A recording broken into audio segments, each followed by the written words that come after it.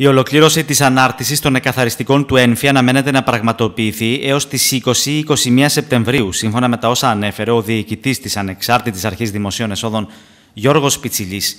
Η καταβολή του φόρου για το έτος 2021 γίνεται σε 6 ισόποσες μηνιαίες δόσεις. Η πρώτη δόση καταβάλλεται μέχρι και την 30 Σεπτεμβρίου 2021 και η τελευταία μέχρι και την 28 Φεβρουαρίου 2022. Ο φετινός ΕΝΦΙΑ υπολογίζεται με βάση τις υπάρχουσες αντικειμενικές αξίες. Να σημειωθεί ότι οι νέες αντικειμενικές αξίες θα εφαρμοστούν από το 2022. Ενώ δεν υπάρχουν μεταβολές στις εκπτώσεις και τις απαλλαγές που ισχύουν για ορισμένες κατηγορίες φορολογούμενων που εφαρμόστηκαν το 2020.